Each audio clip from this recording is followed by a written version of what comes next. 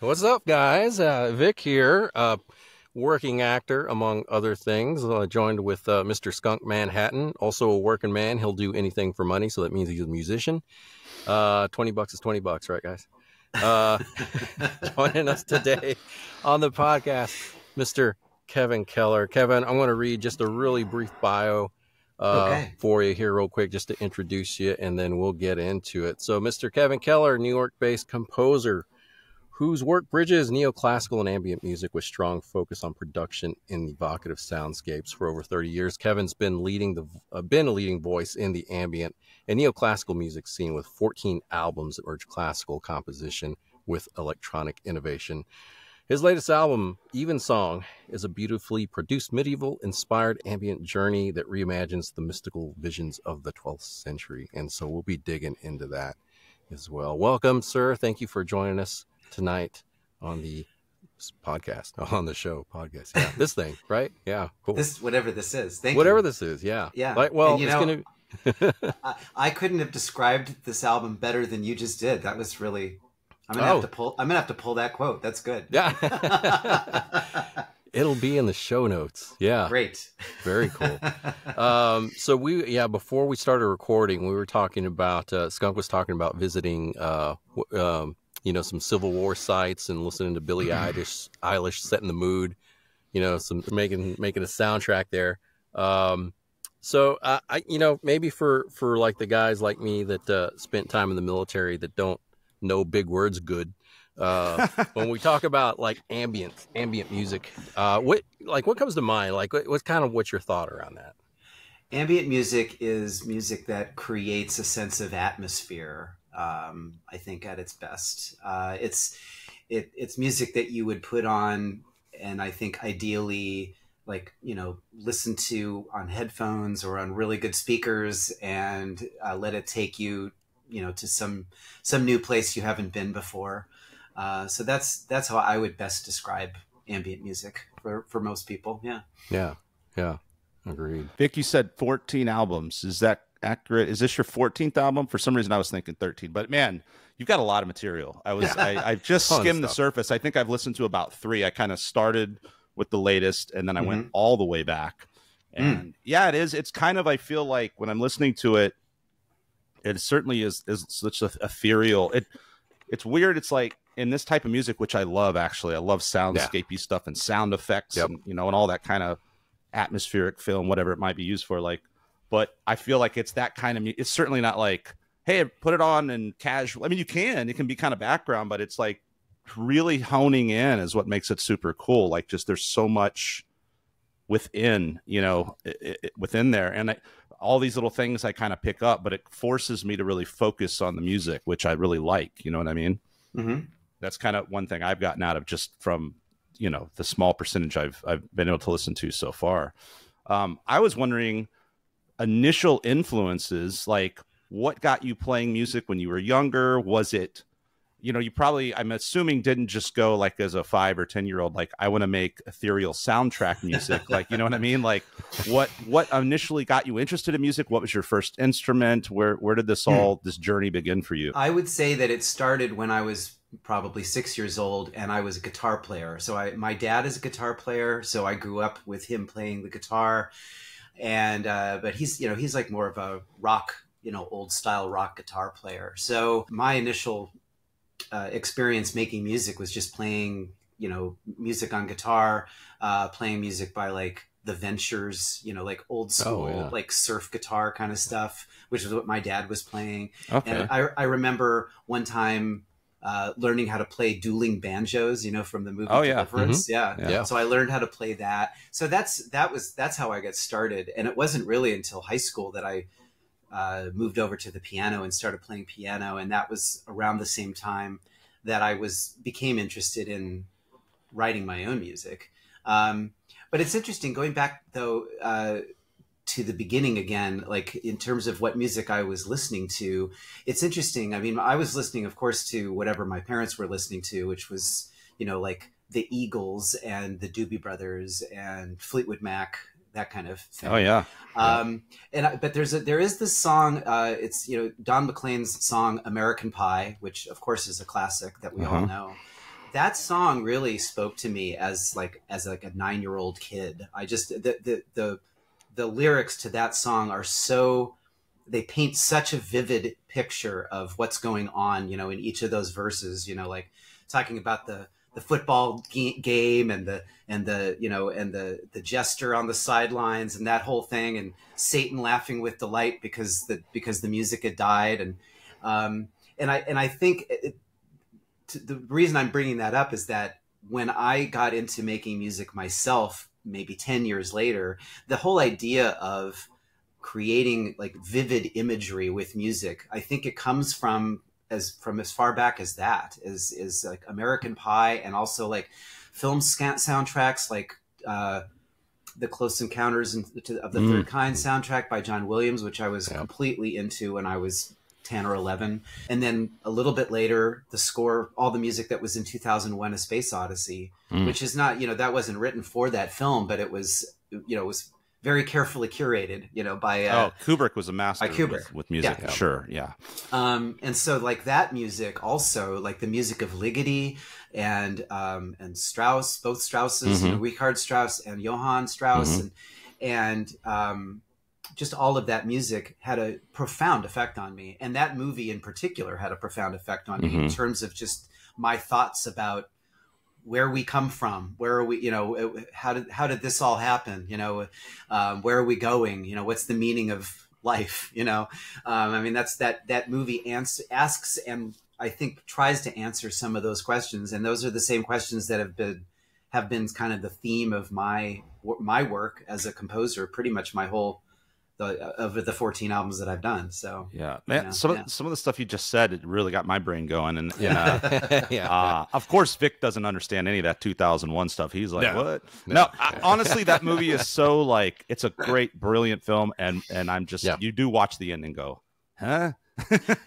but it's open to interpretation. I'm sure. I'm sure there's all kinds of documentaries and you know thesis synopsis whatever on it and you know but i think that's that sometimes art in its most beautiful form is open to interpret. It's not just cut and dry. It can be either way right? It can be sure. very well laid out um like you said a vivid picture painted lyrically by by american pie or it can be something very you know abstract like you know a lot of what 2001 is. And it hadn't really occurred to me but who was the third not the two strausses but the third composer you said? And i'm assuming it, his music is the very sort of for lack of a better word, like atonal modern. Yes, yeah. What, who right. was that composer? Um, that's a that that was a Hungarian composer named György Ligeti. Okay, and um, and his music there were there's a, a his music is used a lot in that film. Right. Uh, and yeah, it is that more atonal kind of uh, tone cluster kind of yeah. music.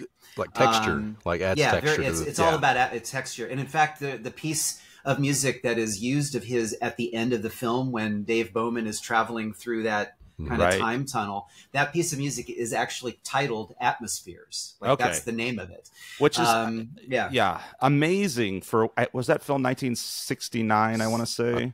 somewhere so, yeah. like that, so. you know, yeah. something yeah, in there. Yeah. But just really incredible to think of, you know, um, just visually and sonically what was happening in that film. And I, I think, you know, I, we've gotten so desensitized in the last, you know, 30, 40, 50 years, but I think things that were coming out early in early film. I do stuff with old silent film, and I it's only recently that I've kind of gotten into this and became really gained this massive appreciation for these early films and the German impressionist films. And I mean, they're just brilliant, you know, and see the value and uh, just how important they they are. And, and um, but also you know musically with stuff like this and with directors like Kubrick who goes on and on. But I, I did one thing when you mentioned that I, the the juxtaposition of those sounds and those composers is so cool to think about the the trajectory of that film from the dawn right. of man to the space age and the technological age and i kind of it never really kind of hit me that way before but i just thought of that when you were talking about it and i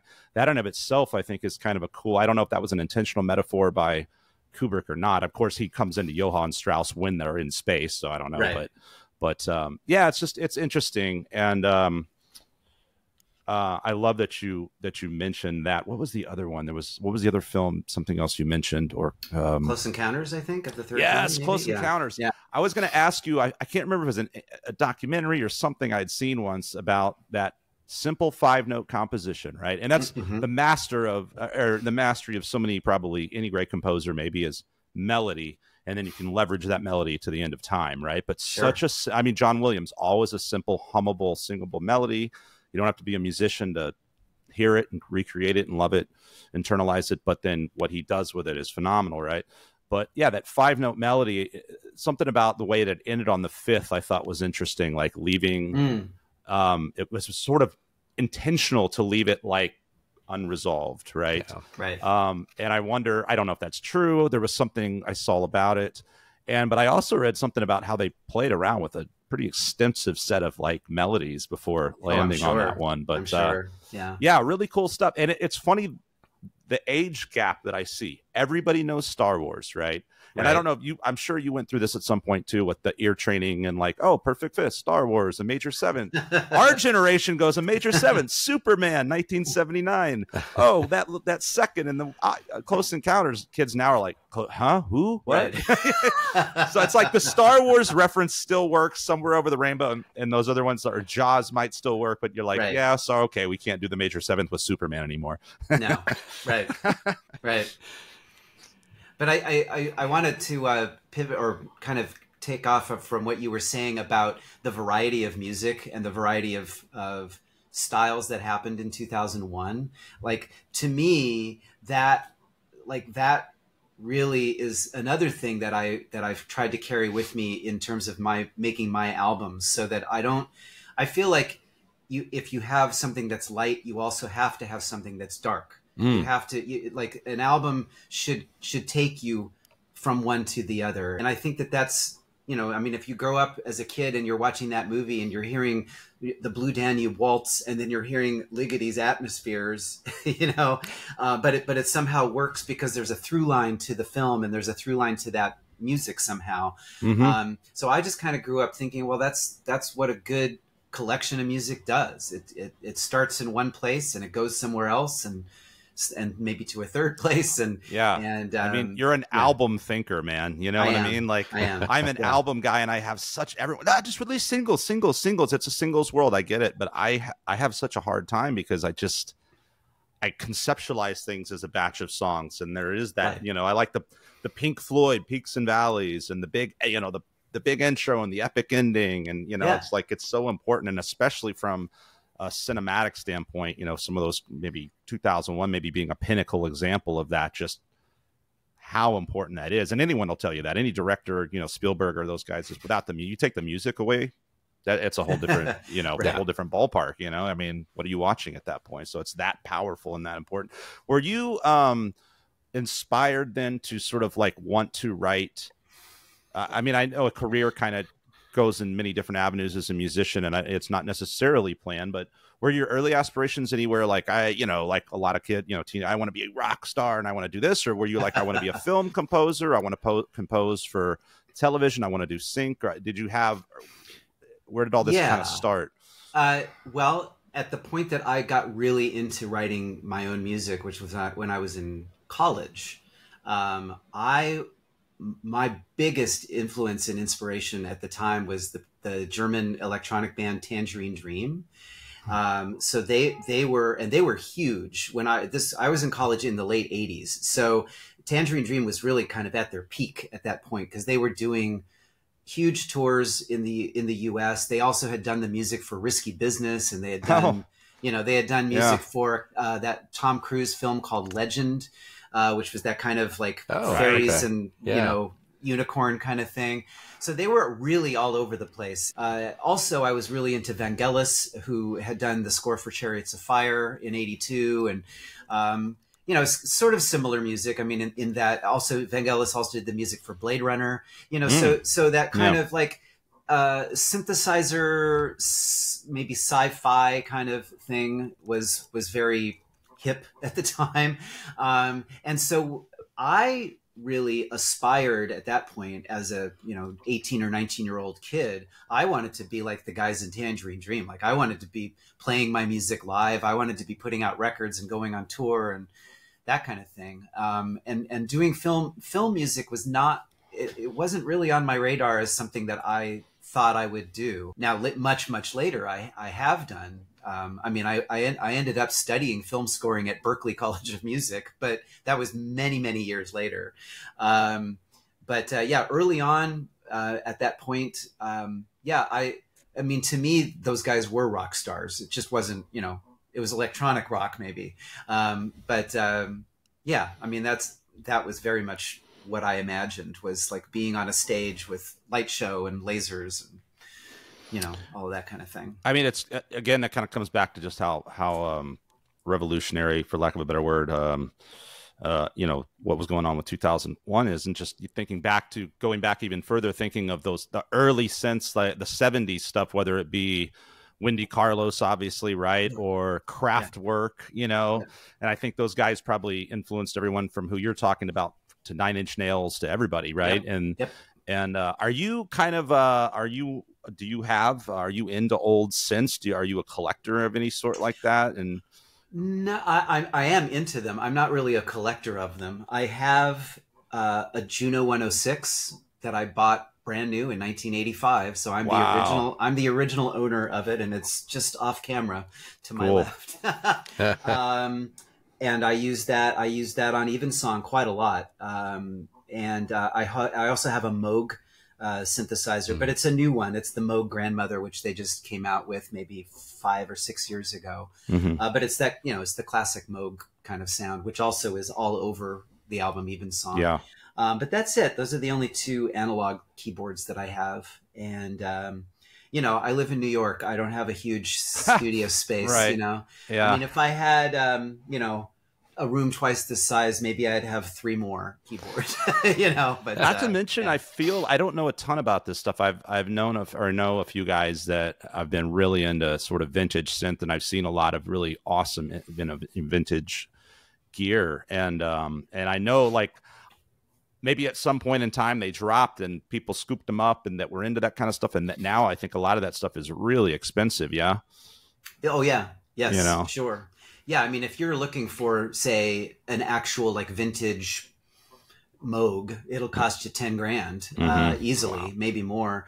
Uh, and if you're looking for like a vintage like ARP 2600, which are really hard to find, uh, those again, those are like $10,000. But I mean, you know, you can buy the virtual version of it. So. Right. That's an interesting you know, thing. And I, I yeah. you know, I have a couple questions like, are you, how, how much uh, self engineering do you do? Do you kind of do the whole process and I have a lot of questions actually about your process. okay. But, yeah, let's get into it. Um, yeah. Like, yeah, first of all, I, I mean, composition. Like, what is your mm. compositional approach? My compositional approach is generally um, me sitting at a piano keyboard and, you know, like you're talking about John Williams with his five note melodies. You know, um, I, I I spend a lot of time kind of finding finding chords or melodies uh, to work with. Although the exception being with Evensong, since those half of the album at least is based on existing melodies that were written 800 years ago. I, you know, I had sort of a head start on this particular album, but in general, um, I'm I'm working pretty traditionally, like like sitting at the piano with a piece of you know music paper and a pencil, and I'm actually you know kind of writing things down and kind of playing around with things.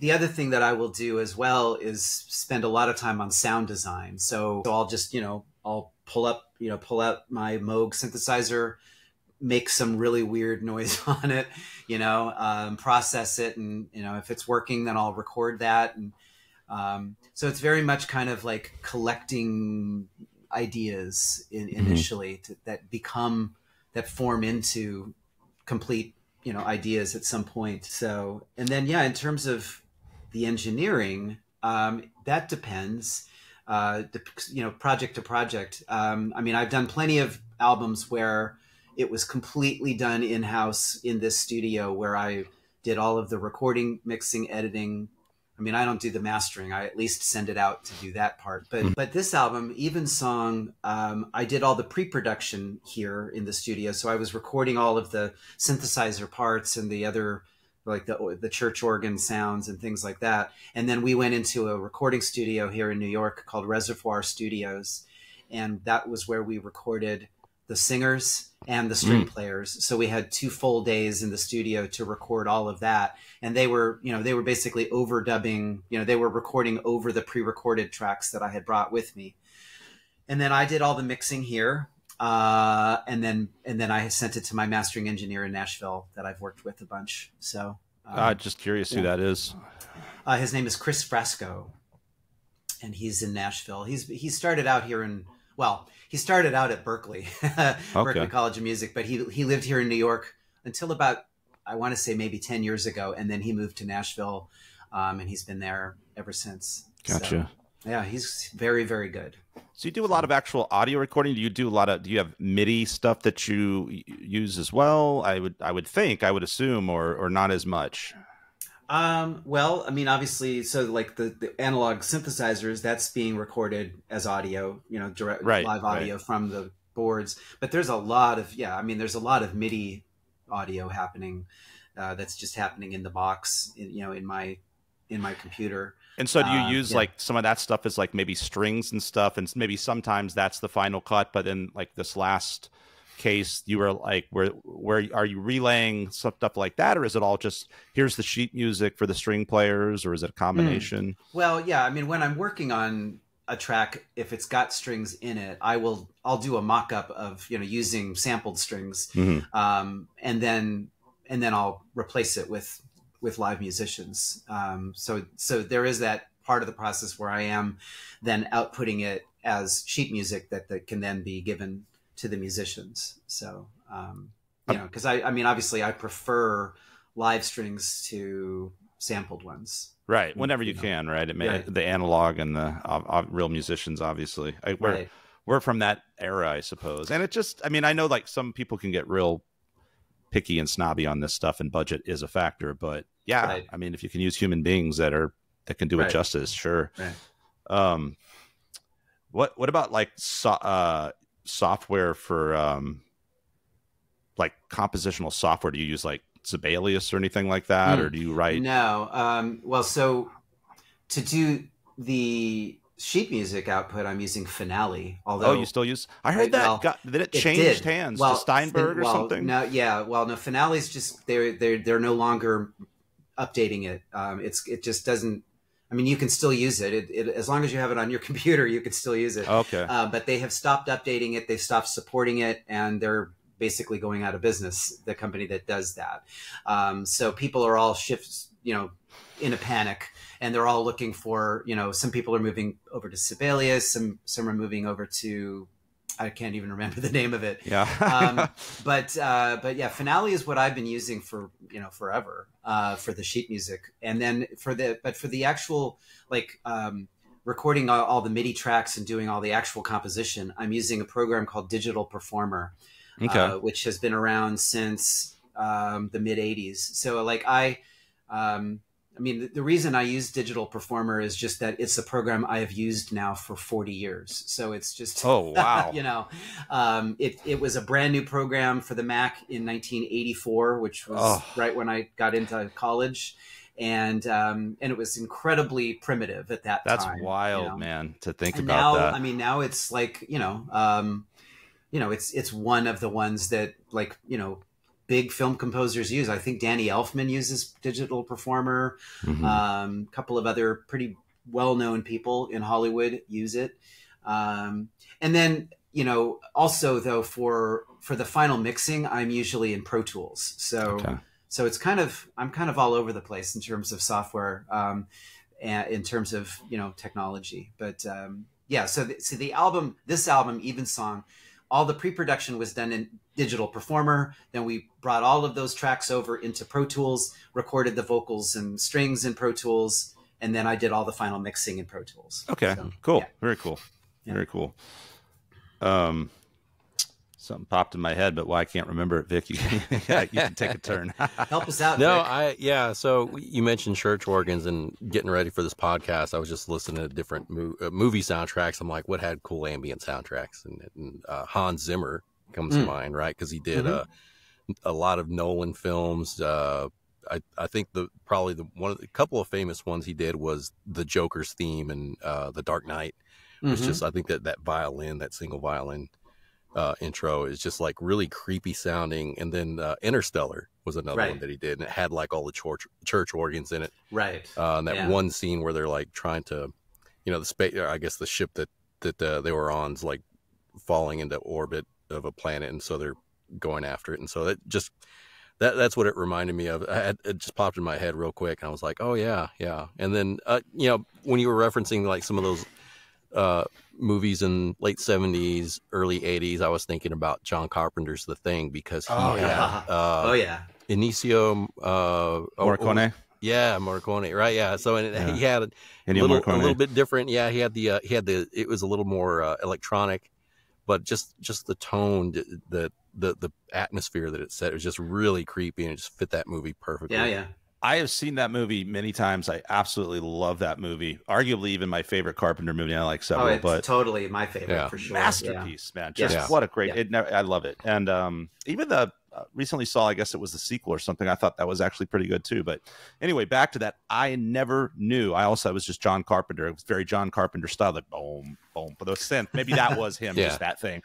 And then I saw Morricone in the credits, and I was like, "What? No way!" Like it just blew Right. my mind that he was that in that sort of minimalist sort of. uh uh, you know, you think of him as the spaghetti westerns. Obviously, he's done all kinds of different Yeah. stuff, but Right. I, Right. it was cool to see his name in that, and it was really cool to. Um, I literally actually watched. Uh, did you ever see the movie The Hateful Eight, the Tarantino um, Mm, movie? You know, I have not Oh, seen he did that one too, Yeah. right? Really long, and I kind of was like, "Eh, looks kind of boring." I don't know. I ended up watching that movie and kind of became a fan of the movie because of Morricone. Ah. I think he won a Grammy for it or something right before he passed away, or He won the have been- Oscar for that. Yes. or the Yeah, Oscar, yeah. the Oscar, yeah. and uh, Yeah. and it was just like, oh, it's so good, man. And yeah, I mean, I, that's happened to me a few times. Like, uh, I have watched a film because of the music. I ended up watching the whole Twin Peaks series one time because of this band Fantômas. I was like, I was like, where is this this Firewalk song? And it never even happened because it was in the sequel movie. But I ended up watching this whole TV show because of it. I forget who the composer for that was, but it had its own Oh obviously that yeah. was someone that um what's his name uses um can't think of a the director for that everybody knows uh lynch david lynch Oh, David Lynch. Oh, yeah, yeah, yeah. yeah. but um yeah man oh, i well vic kind of said what i was thinking actually was uh, when you mentioned uh I guess you mentioned Zimmer and then Elfman too. It's kind of cool Mm. seeing. I mean, Zimmer's been doing this with these incredible musicians like Guthrie Govan and these kind of guys, and um, and then Danny Elfman touring again. Like, I mean, like touring, touring. And I think he's like, it's so cool, man. Yeah. Yeah. I- Have you seen any of those guys live? Have you seen these kind of concerts? I mean, I know everything under the sun come probably comes through New York, you know, but Does it though? I mean, I don't. I mean, I know Danny Elfman. I think he was here. I- Has Hans Zimmer ever done a show here? If he has, I totally missed it. But uh, yeah. yeah, no, I have never. I've never been to any of those things. So. Are you into Zorn at all? I know Zorn is in New York making an album like every 15 minutes. John Zorn. John Zorn makes a lot of music. That is true. what a, Um, yeah, very yeah. prolific. Yeah. I mean, I've I've met him. I, Oh, yeah? yeah. He stole he stole a friend of mine's seat actually at a show.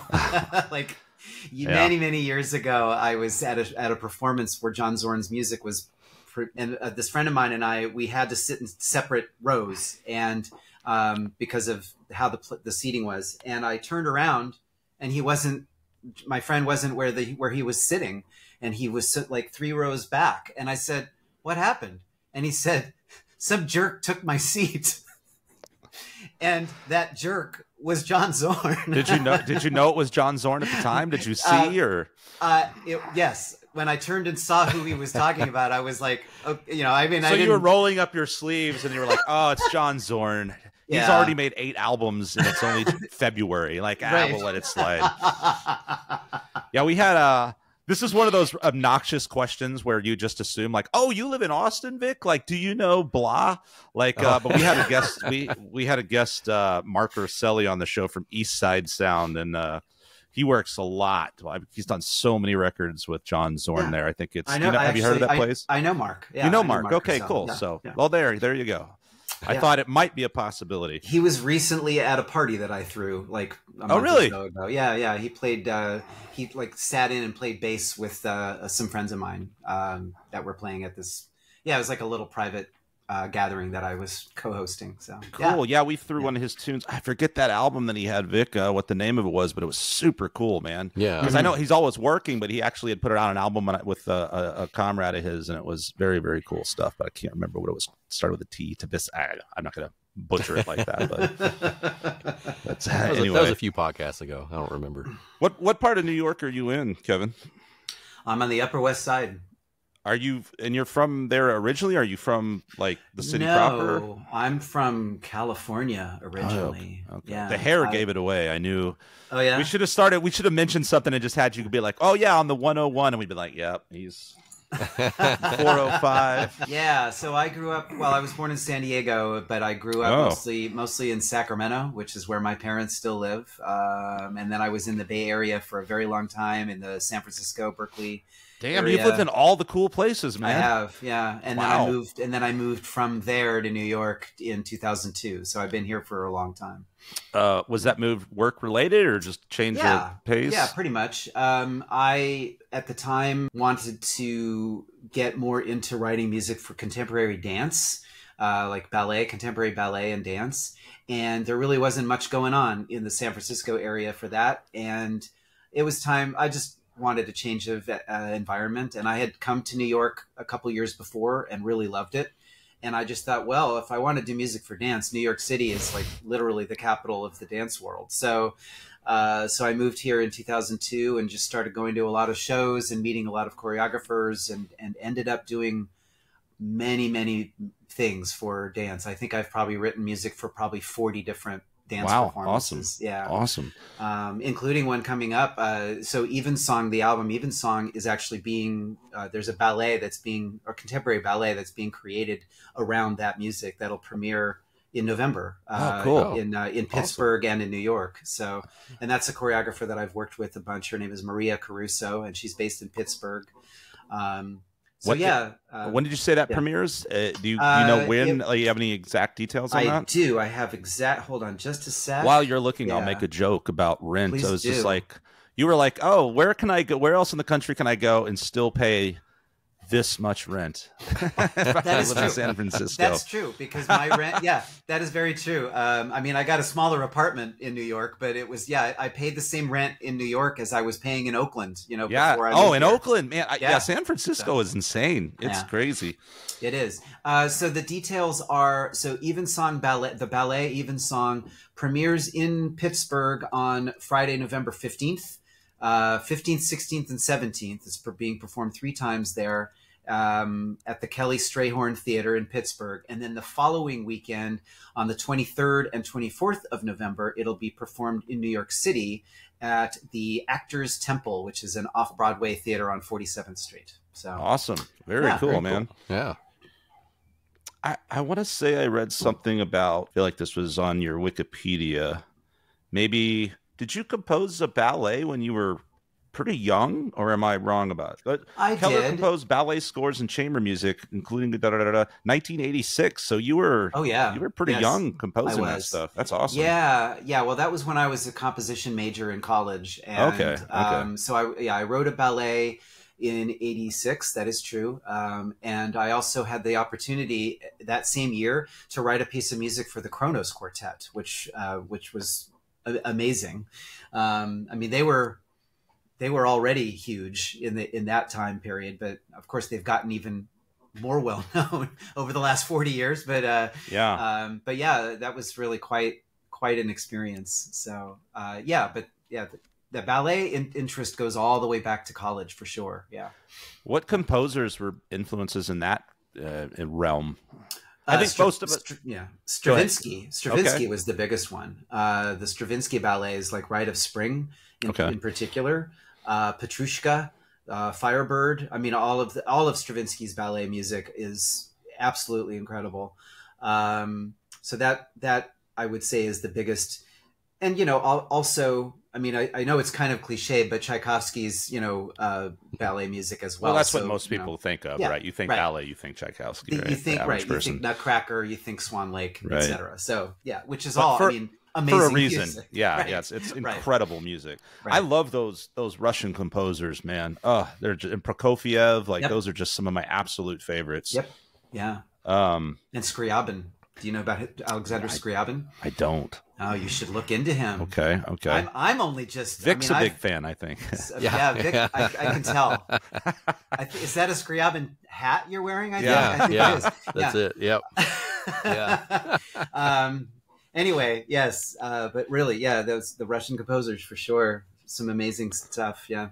Some other things I see on your just uh, in terms of in- inspirations for you, Debussy, uh, mm. Brian Eno, you know that makes sense kind of for what we were talking about, right? Um, mm-hmm. Harold Budd, I don't know Harold Budd. Who is that? Oh wow, that's that's pretty cool. Uh, Harold Budd, he's kind of considered sort of one of the grand, sort of the grandfather of ambient piano music. Uh, okay. So he was a he was a piano player. Um, he recorded so you know brian eno back in the early 80s released four albums that were called ambient one two three and 4 mm-hmm. um, ambient 2 was called the plateau of mirror and it is all harold budd playing piano but it's like you know heavily processed piano um, and i think that's really i feel like that might be the very first album ever of ambient piano music that was ever recorded by anyone. Um, really? That was like 1982, I want to say. Uh, and then they did a follow up album in 1985 called The Pearl, which is absolutely stunning. It's like one of the best albums you'll ever hear. So you you need to go out and find The Pearl by Harold Budd and Brian Eno. Um, and Daniel Lanois was the was the co-producer on that. Um, and you know, he, Eno and Lanois then went on to then be the co-producers for um, the Joshua Tree and um, Unforgettable Fire for U2. So some some pretty good good production going on there. Uh, but yeah, Harold Budd is a huge. He's he's within the world of ambient music, especially piano music. I would say he's like the the number one guy that everybody, including me, everybody at some point tries to sound like. Um, right. Because his style is really unique. He played. He plays what he called he calls it soft pedal piano. So it's like he's always got the soft pedal on and he's playing very quietly, but his melodies are absolutely ma- magical. Um, and it's just some of the most beautiful music you'll ever hear. Very, you know, very much like, um, you know, very similar to sort of Erik Satie, Uh-oh. you know, the the composer from um, the French composer from the early 20th century. So, there we go. Oh, right. there we go. Good. I'm back. I, I don't know what just happened there. That was crazy. Okay. All right. Um, so where did we get cut off? well, were... Harold Budd, you, soft pedal, um, oh, okay. melodies, melodies, melodies. Okay. Yeah. So yeah, so Harold Budd, um, yeah, so he's he's just fairly well known in the ambient world, uh, mostly because of Brian Eno. I mean, so Brian Eno was kind of the one that kind of introduced Harold Budd to the world. But yeah, so is he what Harold Budd calls it is soft piano, soft pedal piano. So it's very quiet and very contemplative, but really beautiful melodies. Um, and then you add the sort of atmospheric uh, processing to the piano, and it's it's incredible. So so go out and find the Pearl by Brian Eno and Harold Budd. Okay, yeah, it's a really classic record. So that yeah. that's a really cool thing, and I'm glad this has come up because um, listening to your music, you know, some of it that I've heard. I mean, that's one thing. The textures, the sounds, the delays, the the floatiness of the piano you know these these things that it's not just you're not just playing a piece on a piano like you said the, the piano affects the way the piano is played.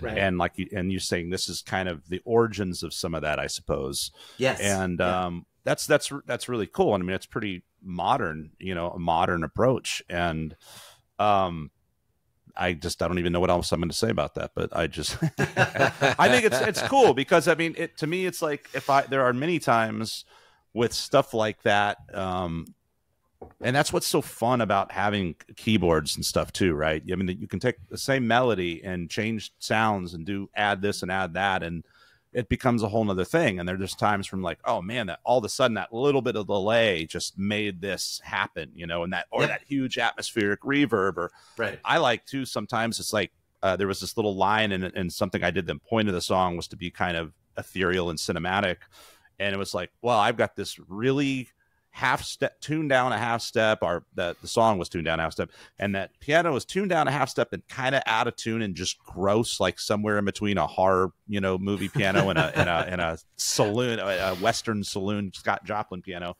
and it was just perfect for it just made everything creepier, you know. So I think right. just like those kind of artistic choices are huge when you're dealing with with this style of compo- composition. Mm-hmm. That's very true. Yeah. Um, I mean, like when I was creating initially, so so some of the basic ideas for the for the newest record, Evensong. Yeah, I mean, like a lot of it was experimenting and playing around with the you know ambient spaces and you know placing instruments in different area, you know, different kind of different types of spaces and um, just being very very sort of experimental with it. And then you know and then some of that actually made its way into the final recording which you know which is always really fun. Because I, I listen back to it and i'm like oh yeah. There, yeah. Like, I, I know there's more to that than what you're hearing you know but you know it might have been a six minute thing and i've and i've used 20 seconds of it you know as a yeah. as a transitional moment you know?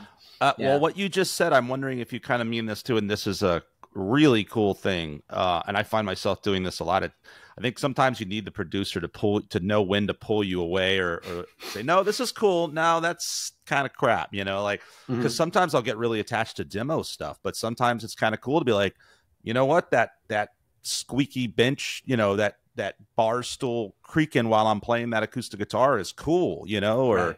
like I think it, you know, a lot of I, I find myself keeping a lot of things that were done in the moment because it's just like no, that was a vibe that happened. Are you do you work in that way sometimes where it's like the vibe, if you capture that vibe, you're like, this sure. is gonna you're gonna yeah. roll with it, right? Oh yeah. Yeah. Oh, I mean, yeah, there's this really odd sound that's in the uh, first track on the album that I that I created with an with an electric guitar. So I have a, a Fender Telecaster and I was I had it plugged in and I was trying to make the weirdest noises I could, like you know, like sort of scraping on the pickup and mm-hmm. scraping this, just doing really weird sounds, and then also running it through like a, a couple of analog delays and other things, and it just was the weirdest sound, and um, and that yeah, and that ends up being used like on you know it, it's it's funny right? It's like it's a piece of music that's got medieval plain chant and organ and strings, and yet there's this really weird noise that is a sort of transitional noise. When you listen to it, you're like what is that? What is what is that even? What is making that sound? and uh, yeah, and that just came out of this weird day that I was just like, I don't know, I'll just I'm going to record five minutes of the weirdest noises I can make on a guitar, and some of it was really cool. So yeah, I mean, I I, I feel like my approach is to record everything, and yeah, um, because you never know, like some of the best things that you make will happen almost by accident or happen spontaneously and it won't be something that you planned to do. And, uh, and it might not even be something that you planned for that album or for that piece of music that you're working on but you know you got to keep it all so. Yeah yeah good point man. That's that's a really good advice i think. And i think a lot of producers I've talked to are, are kind of like that too. And they kind of trick the artist, even like, oh, you know, no, no, I just got to warm up. I got to, oh, well, we'll just record it, you know. And while right. I get, you know, and you never, some, you never know when that that first take, there's something magical. Sometimes yep. that happens, you know. Oh yeah. Yeah, I think that is that's I've seen that a lot. Um, How, it's uh, interesting. Uh, oh, go ahead. Oh no, I was just gonna uh, on Evensong. I know you mentioned that uh, some of the compositions you're working with are 800 years old. Mm-hmm. Uh, how was that was that the inspiration like just to build just kind of this album and enhance with uh, modern day electronics just to bring out like some of those older compositions? Like what what kind of led you to working with uh, with something like that? Yeah that's an interesting process. It was um so i mean i've been aware of the music of hildegard of bingen. She was a, a nun that lived in the 1100s uh, she she was very prolific and her music is very well known uh, in the sort of early music and classical music world. Um, but I had never thought of utilizing any of it for my own purposes. And then I don't know, it was like about th- three years ago. So it was like mid yeah, it was mid October of 2021. And I was sitting here in my studio and I just had this idea like, huh, what would it sound like if I used a couple songs by Hildegard of Bingen, but then like, you know, because her music is all just melody. So I'm free to put whatever I want underneath it because there were no chords or anything. And, I, and, even just the title Evensong came to me all in that one moment. And it was almost like the album like appeared to me almost like a fully formed idea. And and so then I I actually I just sort of randomly picked one of my favorite songs of hers and played around with it. And the initial version actually sounded a lot like like a Hans Zimmer film score. It definitely had that kind of epic kind of quality to it.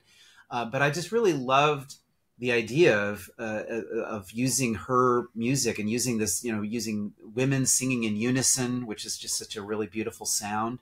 Um, and then it took me like a year of experimenting with different approaches before I really kind of came to find kind of the way into the album. And then it came together pretty fast after that.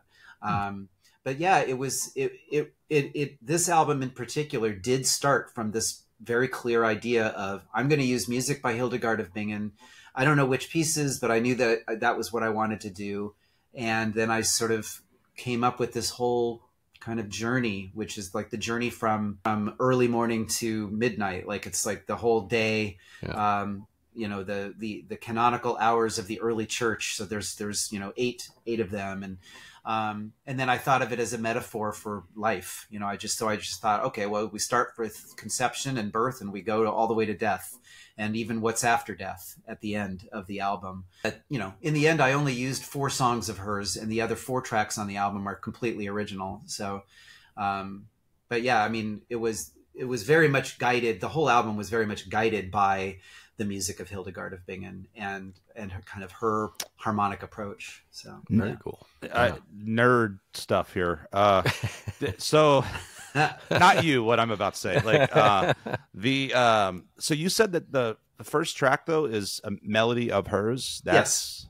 Yes. I feel like um, maybe I'm totally wrong here. Um, I feel like I got this like Lydian vibe or something out of that, hmm. man. Close. Like, you know what I mean? Close. What's, what's is it just uh, very uplifting major sound or? No, the first out first track is in Phrygian mode. Actually, is it really? Is, well, yeah, like, I'm not, yeah. I don't feel like I'm close at all. Actually, no, well, you're off by. I mean, off by a half step, but uh, yeah, um, it's Phrygian mode based on E, so it's that like makes more yeah. sense for the time. I was like, I, Lydian seems weird for the uh, the medieval right. times, right? Well, Lydian is the the second track is in Lydian mode, so maybe that's um, what I was yeah. thinking then. Okay, maybe I'm getting which is very confused. yeah, and which is very uplifting. Uh, okay, kind of almost okay. magical sounding. Okay, um, then that, I'm getting them backwards. Okay, okay. Skunk's a big um, fan of Dorian.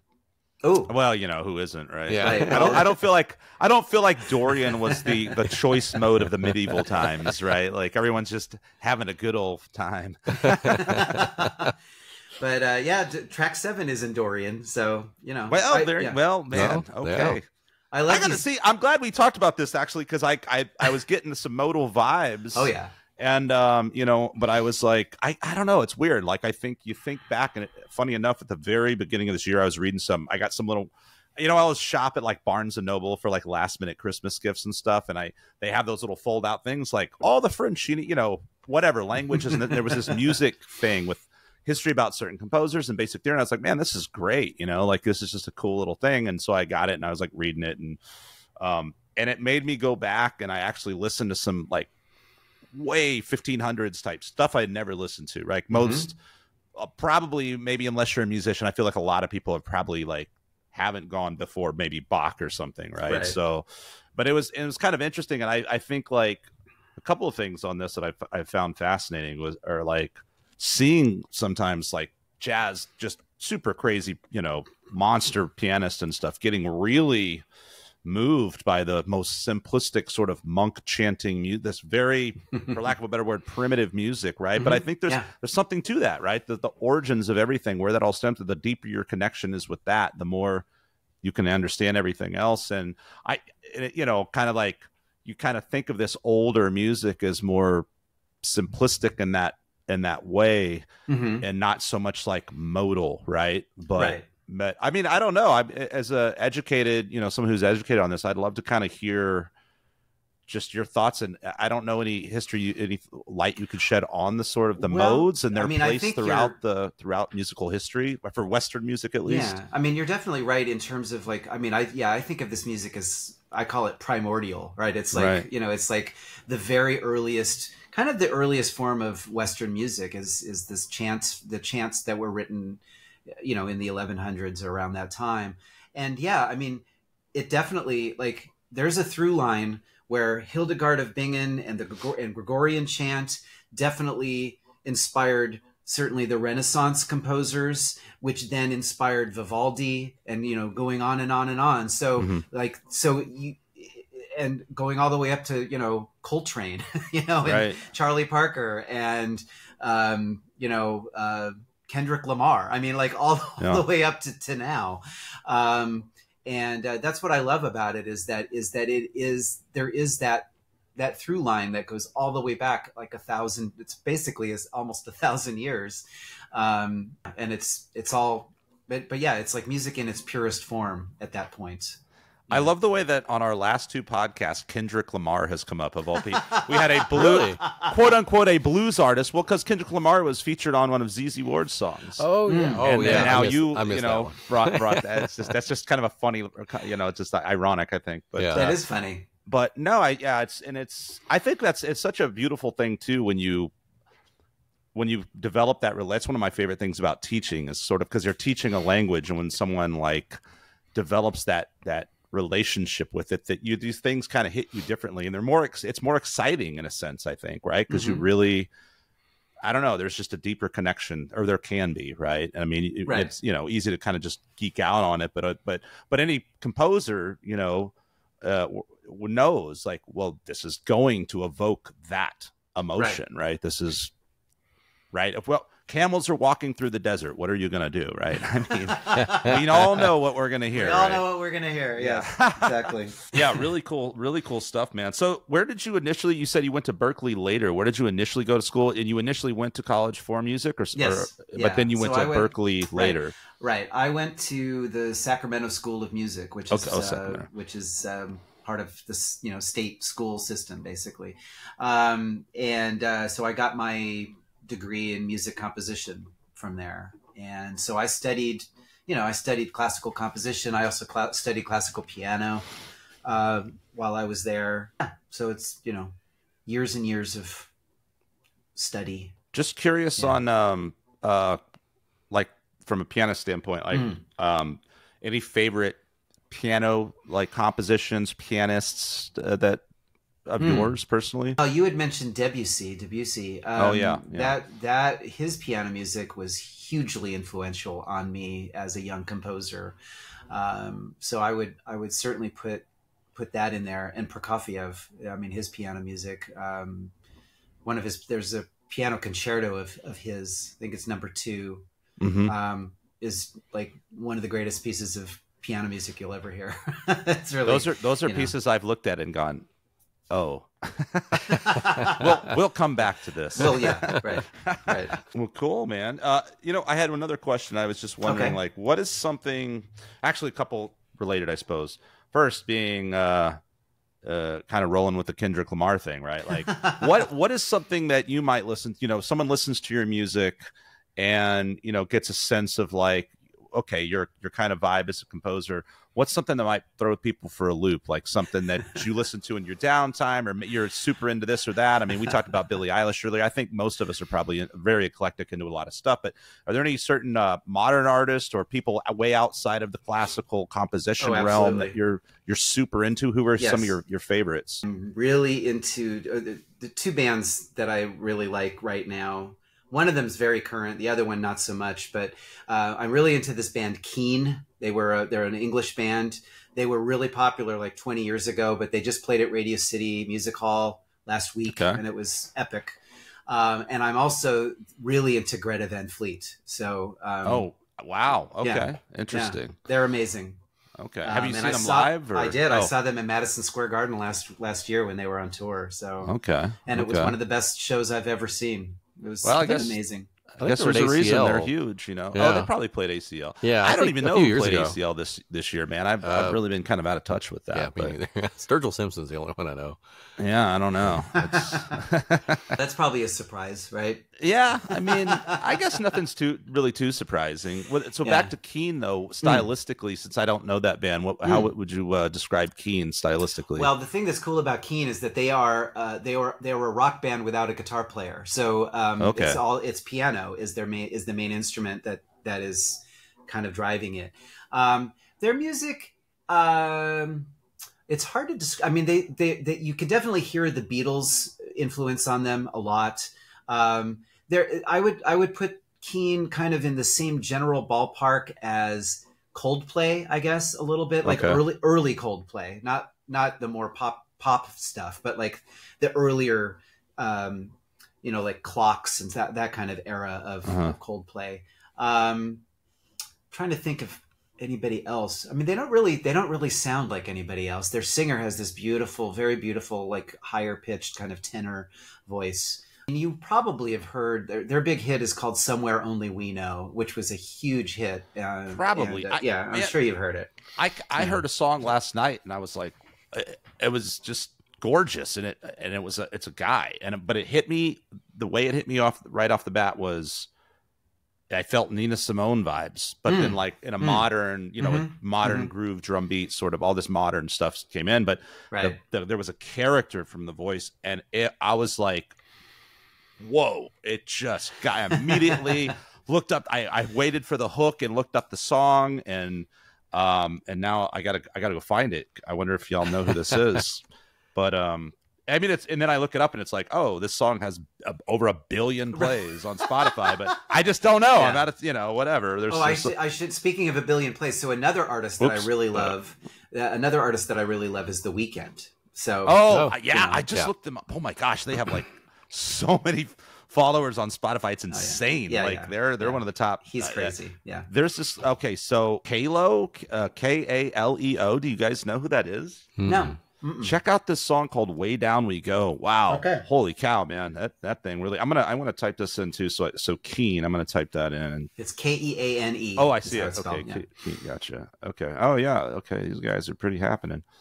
They cool. are. All right. Um, what? Uh, yeah, that's that's cool. Go ahead.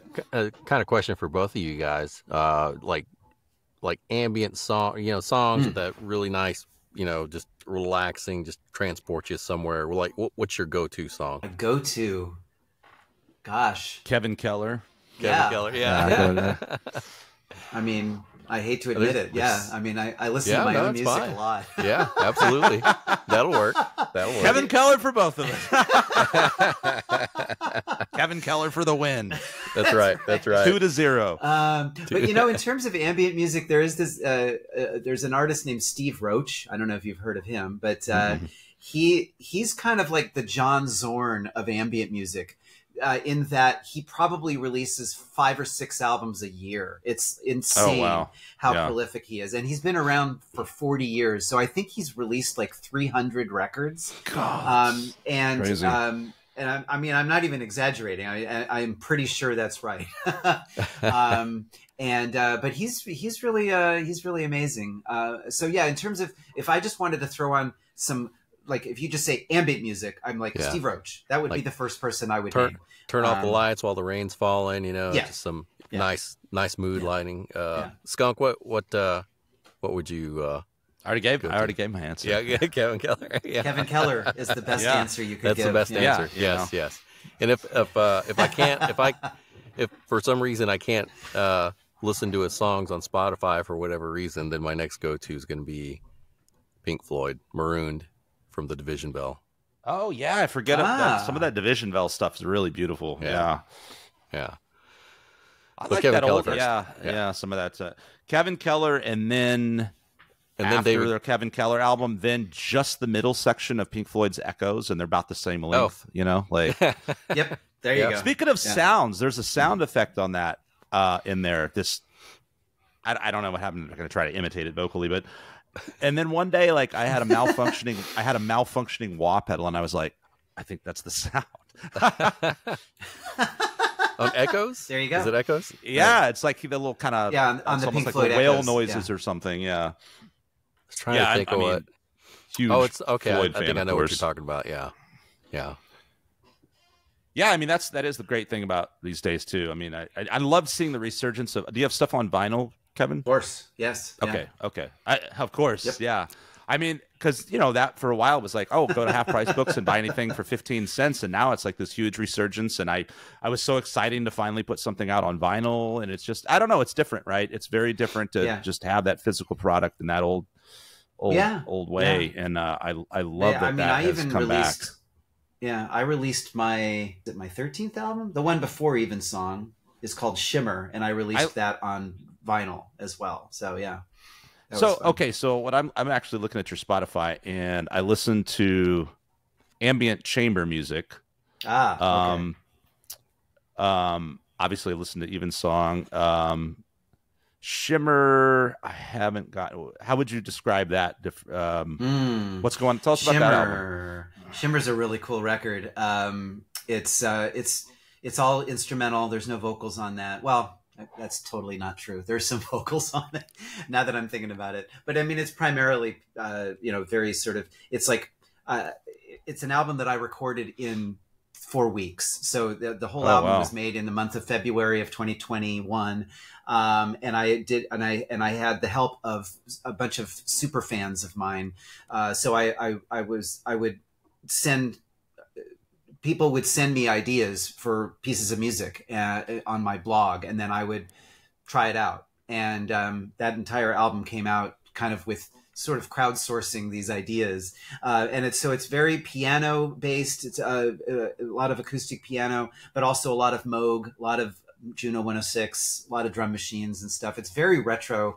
Uh, the the electronic sounds are very sort of retro sounding. Oh, cool. Um, okay. It's uh, it's a lot of fun. It's it's one of my favorite records that I've made, just in terms of the how it how it came about. Because I usually I often start an album with a huge idea of like what it is and what it's going to sound like. And the nice thing about very shimmer conceptual on the front yeah, end yeah. very conceptual. Shimmer there was none of that. I didn't i didn't even have ti- a, a, title. Like all the titles for the pieces and the title of the album came after the music was made. Yeah but it, it really it showed me something important which was that it's still possible to make music that is meaningful and that is emotional even if you don't go into it with any idea of what that emotion or meaning will be. Like I it, even it, even if you just are making music for its for its own sake, event it, it still ends up being meaningful and emotional, which is really that, that was kind of a mind blowing thing for me to find out. Was just that you could do that. so, Are there any of your yeah. albums that I mean I, I, don't know how you feel about this question, but like that you've uh you know f- this was this is my favorite or are there any that resonate more than others that you really are just like you're more proud of, or do you feel kind of equal hmm. about them hmm. all? They're all sort of their own place and time. Yeah, I mean they are all sort of equal in my mind, but I there are you know there are a, a couple that sort of stand out for me in terms of where I feel like I really like did something new or or unexpected or or just that the album came out like really really well um so, I mean, Evensong certainly. Um, Shimmer is another one. Also, the one just before that called "The Front Porch of Heaven." Mm-hmm. Um, that record is really. I I. I I, I'll even go on record as saying that like if that were the last album I ever made, that would have been fine. like okay, like the front porch of heaven was the culmination of a lot of different uh, sort of ideas and and um, uh, and stylistic approaches, and it just came out really, really, really well. Um, and and I think it's got some of my certainly has my some of my most emotional and most meaningful music on it um, because it's a very personal record.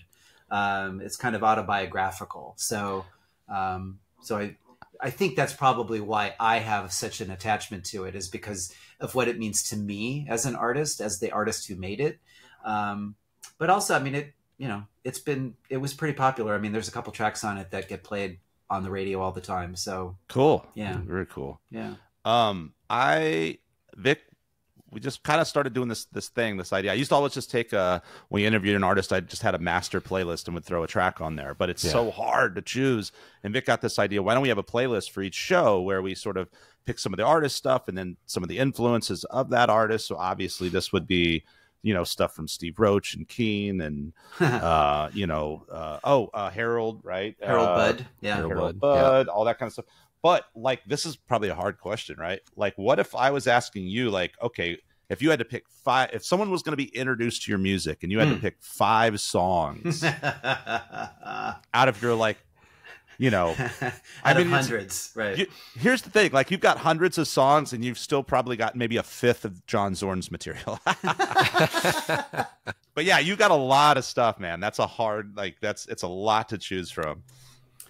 So you're asking me what are the five songs I would send you to listen to? Um, I would tell you to listen to "Just Over the Ridge" which is from Front Porch of Heaven.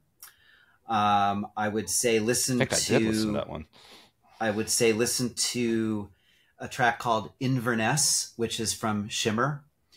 Um, and I would say Evensong 2 from Yeah. Evensong. I love that one. Um, also Evensong 5, which is my favorite track on Evensong.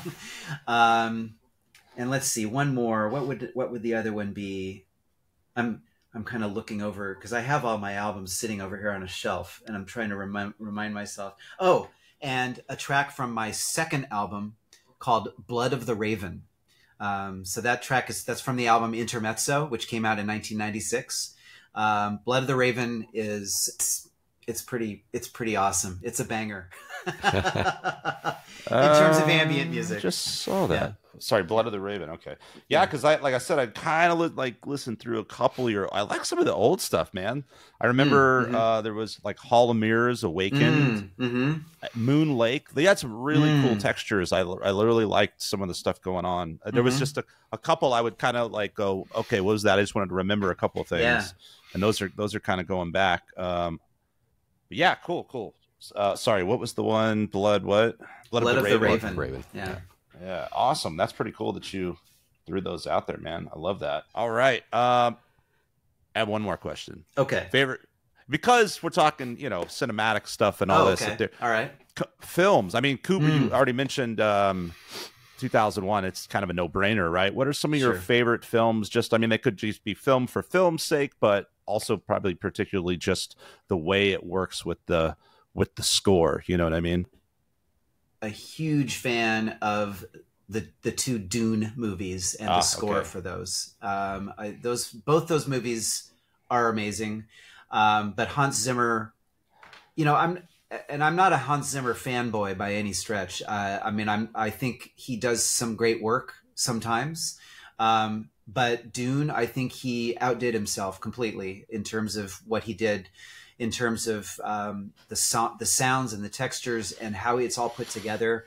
Uh, the, there's this, this the music that he do- did in Dune Two, um, the music for the scene where um, Austin Butler. Uh, is, is it's his character? It's that scene that's all in like sort of black and white. It's kind of a, Oh. almost like a gladiator kind of In the arena, scene. right? yeah, in the Mhm. arena that music is insane and it's so good and i just listen to it and i'm like i have no idea what that even is like what's making those sounds i don't know how he's doing it um, but uh, yeah uh, what's his character oh yeah Feyd-Rautha is his name Hmm. and um, uh, that like that's an example of incredibly good cinema music and the way that it works within the, the context of the scene is amazing. Like you wouldn't you wouldn't have the same if you took the music out of that scene it would not have the effect that it does. Mm-hmm. like it's absolutely integral i think so.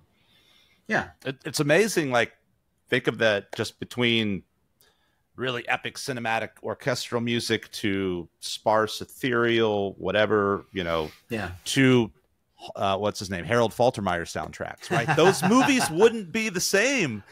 They're just so wonderful because of that style you know? So it's Yeah. it's just it's amazing i mean it, i'm sure this kind of stuff's all over the internet. I mean i recently i saw someone put the the ending credits to a predator to the golden girls theme song They're like this is amazing you know it's like so you could just change everything with Yeah. music you know I, I recently saw a scene from uh was it Return of the Jedi with Freebird, Lynyrd Skynyrd. oh yeah Over- someone sent That, to was me. pretty awesome, actually.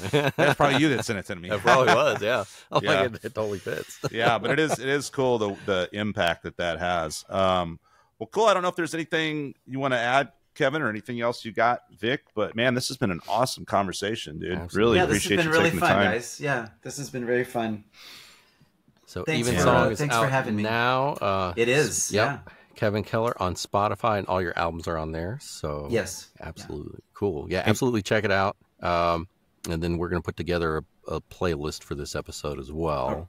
all right And can you please say one more time where your ballet is premiering? Ah, yep. Mm. When and where? Uh, it's the middle of November. It's uh, November. It's in Pittsburgh at the the Kelly Strayhorn Theater, which is in. Um, it's not quite downtown, but it's you know it's in the city of Pittsburgh. Uh, it's on um, November 15th, 16th, and 17th uh, in Pittsburgh. And then the following weekend, November 23rd and 24th in New York at the Actors Temple. And you can awesome. get you can get those tickets by going to the dance company's website. So the name of the dance company doing it is Bodiography, and that's B O D I O G R A P H Y. Uh, so go to bodiography.com and you'll be able to find ticket links for those performances. And anybody interested for more on you, that's just, uh, I believe that's just kevinkeller.com, correct? Yes, it is. find you there. Yep. Awesome. Cool. Well, thank cool. you so much for joining us, Kevin. Thank you. Yes, sir. Uh, just let's just hang out for a bit once we uh, wrap okay. up. And right. uh, guys, we will check you guys out later. Skunk, anything else? Sign us off, Vic. All right. Um, I don't have a good outro like I do my intros, but oh come on. All right, Kevin. Thank you so much for joining us uh, for Skunk Manhattan and myself. Uh, you guys have a great rest of the week. Be good and listen to some good music. Boom.